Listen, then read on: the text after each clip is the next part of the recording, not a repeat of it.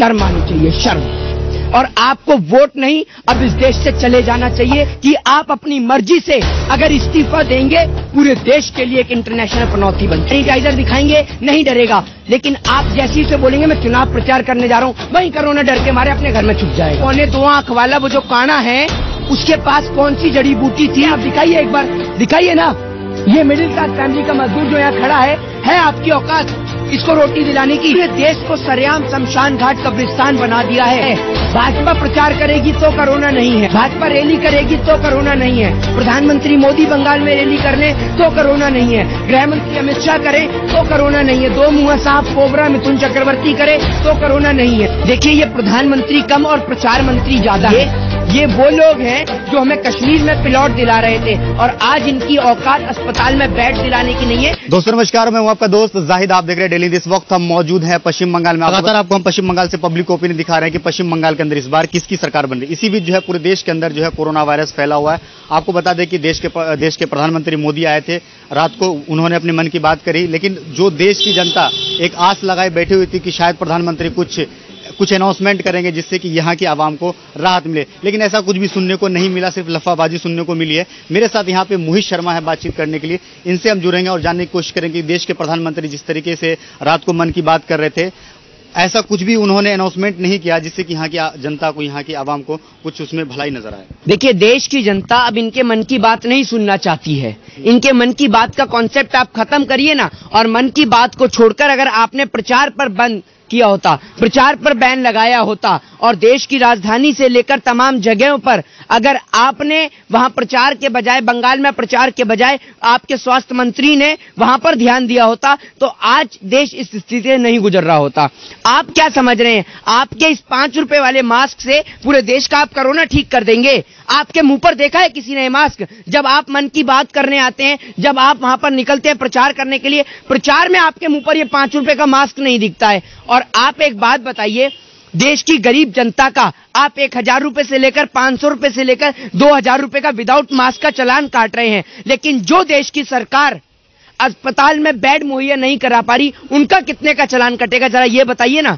सरकार का भी तो चलान कटना चाहिए, जब देश की गरीब जनता का कट रहा है। और आप एक बात बताइए ये वो लोग हैं जो हमें कश्मीर में प्लॉट दिला रहे थे और आज इनकी औकात अस्पताल में बेड दिलाने की नहीं है, जो कश्मीर में प्लॉट दिलाने की बात किया करते थे। और जो कहते हैं ना, सत्तर साल, शुक्र है, सत्तर साल में जो अस्पताल बने, वो अस्पताल बन गए और उनमें इलाज चल रहा है। वरना इलाज आपके तो बनाए, शौचालय में चल रहा होता, क्योंकि आपने अस्पताल बनाए नहीं है, आपने तो सिर्फ़ शौचालय बनाए हैं तो क्या इलाज शौचालय में कराएँगे? जनाब, आपने पूरा देश बेच दिया। अब सबसे ज़्यादा भीड़ तो शमशान घाट और कब्रिस्तान के बाहर लगी हुई है। तो क्या शमशान घाट और कब्रिस्तान भी अंबानी और अडानी के हवाले कर दीजिए ना? उससे भी कुछ पैसा आ जाएगा। और क्या चाहिए आपको? आपने मन की बात कर कर जन की बात को आप भूल गए। आप वहाँ प्रचार कर रहे हैं, तब आपको मन की बात याद नहीं आती। आप रोना धोना शुरू कर देंगे दो दिन बाद फिर आकर। इससे देश का कुछ नहीं होने वाला है।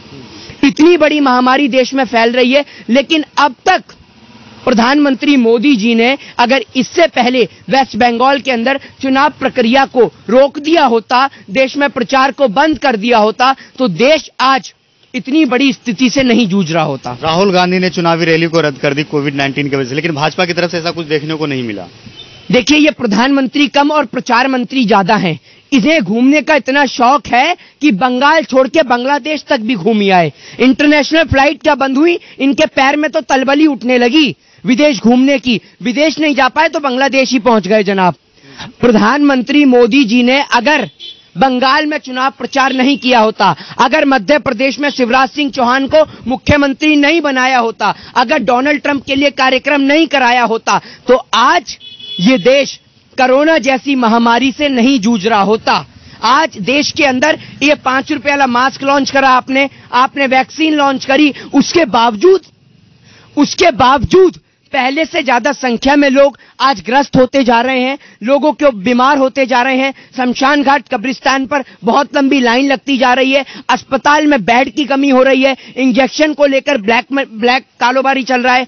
इलेक्शन को ब्लैक में बेचा जा रहा है और जिस इंजेक्शन की कीमत पाँच हज़ार रुपए है, उस इंजेक्शन की कीमत पचास हज़ार रुपए तक हो रही है और गरीब आदमी इंजेक्शन भी नहीं ले पा रहा है। तो क्या आज ये देश के लिए कितना बुरा समय है? यही अच्छे दिन थे क्या मोदी जी? अगर ऐसे ही अच्छे दिन दिखाने थे तो भैया माफ़ कर दीजिए आपका अच्छा दिन हमें नहीं चाहिए। अच्छा प्रधानमंत्री मोदी ने कहा कि गाँव गाँव में कब्रिस्तान है तो गाँव गाँव में शमशान भी होना चाहिए। आज ऐसा है कि पूरे देश में पूरा देश ही शमशान बन चुका है।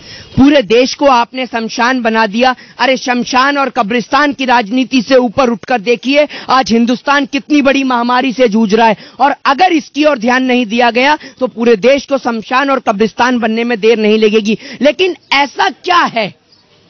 ऐसा प्रधानमंत्री मोदी और भाजपा के नेताओं के पास क्या है कि इनकी रैली के अंदर कोरोना दस्तक नहीं देता है? ये पूरा देश जानना चाहता है। हमने कश्मीर से कन्याकुमारी तक की यात्रा तय करी, हमें कोरोना नहीं हुआ।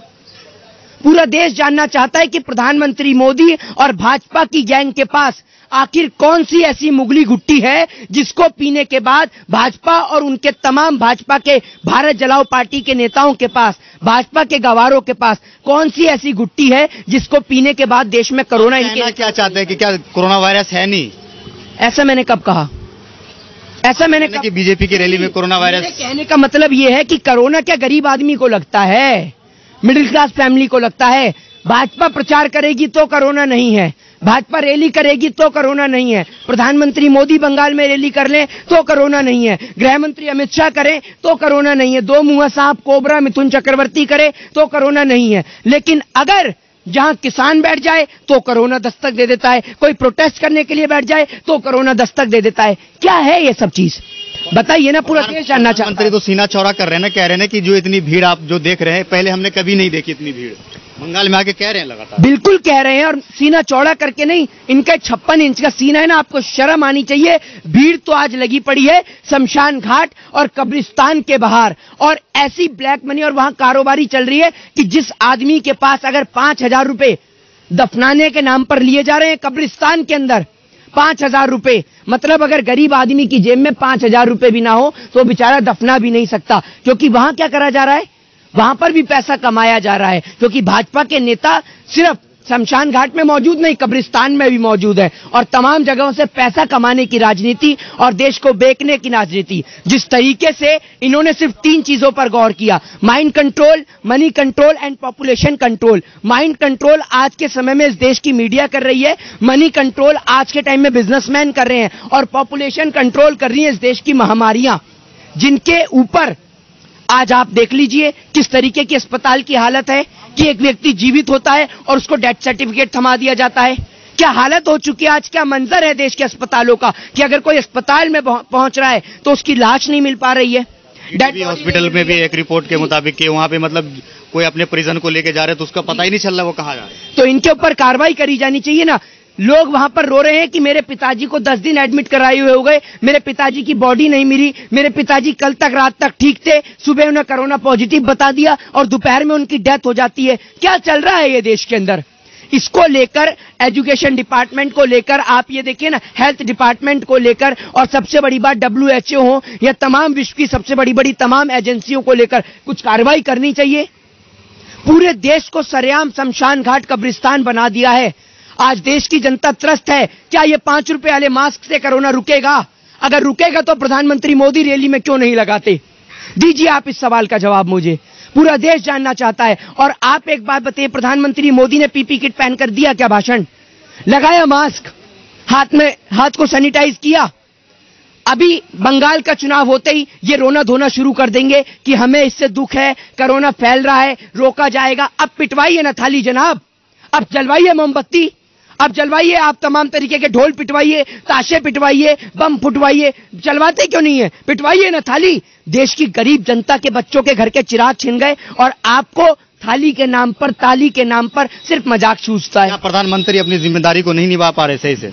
प्रधानमंत्री ज़िम्मेदारी निभा रहे हैं तो उद्योगपतियों की बिजनेसमैन की, और हम बीजेपी के विरोध में बोलते हैं तो हमारी भी जीवन का पता नहीं कि कब हमें मरवा दिया जाए। थ्रेट कॉल्स आती हैं, तमाम तरीके की कानून कार्रवाई की जाती है, ये पता नहीं कि कब मरवा दिया जाए। जो बीजेपी का विरोध करेगा, चाहे वो हिंदू हो, मुस्लिम हो, सिख हो या ईसाई हो, उसको ये लोग कहाँ गायब कर देते हैं, पता ही नहीं चलता। अच्छा प्रधानमंत्री मोदी ने कहा कि पूरा देश जो है, क्या नाम है, कोविड नाइन्टीन से लड़ रहा है।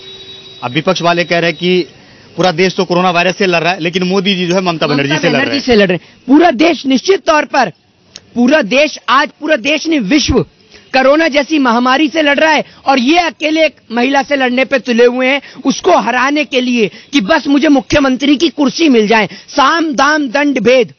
बंगाल छोड़कर इनका दिल्ली बैठे किसान जो बॉर्डर पर बैठे हैं वहाँ उनसे मिलने का मन ही नहीं करता। लेकिन आप देखिए, बंगाल से जाने का इनका मन ही नहीं कर रहा है। बंगाल में तो इन्हें बस कुर्सी चाहिए और आप देखिएगा, शायद क्या पता ऐसा भी हो कि बंगाल में चुनाव खत्म होते ही लॉकडाउन लगे भारत के अंदर। यह भी हो सकता है। कोई ज़्यादा बड़ी बात नहीं है। अभी राजधानी में लॉकडाउन लगते हुए आपने देखा है, देश के अंदर महाराष्ट्र में लॉकडाउन लगते हुए देखा है। तो अगर पूरे देश में लॉकडाउन लगे तो ज़्यादा बड़ी बात नहीं है। प्रधानमंत्री मोदी ने युवाओं को एक बहुत बड़ी ज़िम्मेदारी दे दी। उन्होंने कहा कि कमेटी बनाइए और कोरोना का जो है अनुशासन का पालन करवाइए हाँ कमेटी बनाइए और मैं प्रचार करता रहूँ, है ना? उस कमेटी का मुझे मेंबर बना दीजिए और सौ, पाँच सौ, हज़ार आदमी जहाँ इकट्ठे हो जाएँ, वहीं कमेटी की मजमा लगा दीजिए, वहीं आके मैं भाषण दे दूँगा। यही कहना चाहते हैं ना, ये भाषण जीवी ने पूरे देश का भट्टा बिठा दिया। अगर आपने शिवराज सिंह चौहान को मुख्यमंत्री नहीं बनवाया होता आपने मध्य प्रदेश में चुनाव नहीं कराया होता तो आज पूरा देश इस महामारी से नहीं जूझ रहा प्रधानमंत्री मोदी ने माइग्रेंट लेबर से ये कहा कि जो जहाँ है वही रुके। उनको खाने के लिए पैसा कौन देगा? आज देश के अंदर लॉकडाउन कौन लगा रहा है? आप बताइए ना जिनके पास एक एक साल का राशन है वो देश में लॉकडाउन लगाते हैं। और इसमें मरता कौन है? देश की गरीब जनता जिसके पास खाने के लिए दो वक्त की रोटी नहीं है। उस दो वक्त की रोटी उसे कौन देगा? चलिए मजदूर रुक जाएगा। आपके नेताओं की या मंत्रियों की औकात है कि जो देश की जनता को रोटी दिला सके, ये मजदूर जो खड़ा है, इसको रोटी दिला सकते हैं? आप दिखाइए एक बार। दिखाइए ना। ये मिडिल क्लास फैमिली का मजदूर जो यहाँ खड़ा है है आपकी औकात इसको रोटी दिलाने की? दो टाइम की रोटी आप मुहैया करा सकते हैं। आपके नेताओं ने पीपी किट के नाम पे घोटाला किया, इस पाँच रुपए वाले मास्क के नाम पे घोटाला किया, आपकी औकात देश के मजदूरों को दो सौ रुपए का ट्रेन का टिकट देने की नहीं है और आप देश की जनता की मांग पूरी करने की बात करते हैं आपको शर्म आनी चाहिए शर्म।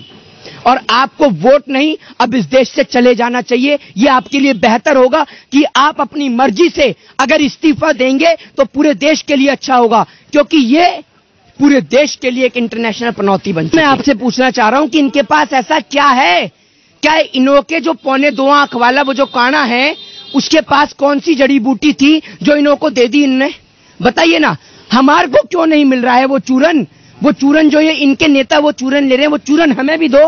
किसकी किसकी बात कर रहे हैं आप? वो चूरन जिसको खाकर इनको कोरोना नहीं होता और देश की जनता को हो जाता है। टिकट ने भी कहा कि हमने हकीमी से बात करी है। हकीम से मैंने बात करी कि जिस दिन किसान हट जाएँगे उस दिन कोरोना वायरस खत्म हो जाएगा। हाँ बिल्कुल। उस दिन कोरोना वायरस भी खत्म हो जाएगा। अभी आप देखिए वैक्सीन आने के बाद कोरोना दस्तक दे रहा है। पाँच रुपए वाला मास्क लगाने के बाद कोरोना दस्तक दे रहा है। सोशल डिस्टेंसिंग के बाद कोरोना दस्तक दे रहा है। तो भैया, कोरोना रुकेगा कैसे? कोरोना क्या कहता है? कोरोना ऐसे बोर्ड दिखा दो ना कोरोना को आप, कि मैं चुनाव प्रचार करने जा रहा हूँ तो कोरोना कई किलोमीटर दूर भाग जाएगा। समझ रहे हैं? बस आप इतना कह दो कि मैं चुनाव प्रचार में निकल रहा हूँ। आप उसको मास्क दिखाएँगे, नहीं डरेगा। सैनिटाइजर दिखाएँगे, नहीं डरेगा। लेकिन आप जैसे ही उसे बोलेंगे, मैं चुनाव प्रचार करने जा रहा हूँ, वहीं कोरोना डर के मारे अपने घर में छुप जाएगा। अच्छा बहुत जगह जो रात में कर्फ्यू लगाया जाता है। मतलब रात में क्या होता है कि कोरोना घूमने के लिए निकलता है? रात में ऐसा है, देखिए मॉर्निंग में तो दुनिया वॉक पे निकलती है, लेकिन ये कोरोना है ना स्पेशल है।